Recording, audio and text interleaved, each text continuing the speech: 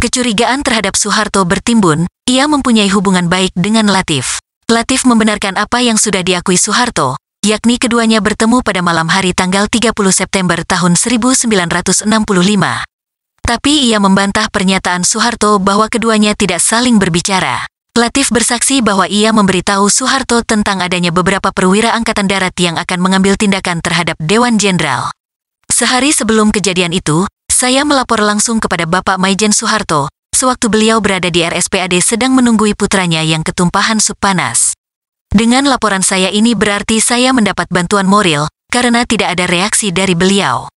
Latif menyatakan, ia juga sudah membicarakan masalah Dewan Jenderal dengan Soeharto, tanggal 29 September, di kediaman Soeharto. Latif demikian dekat dengan Soeharto, sehingga pada kunjungan tanggal 29 September tersebut, ia mengusulkan bertukar rumah dengan Soeharto.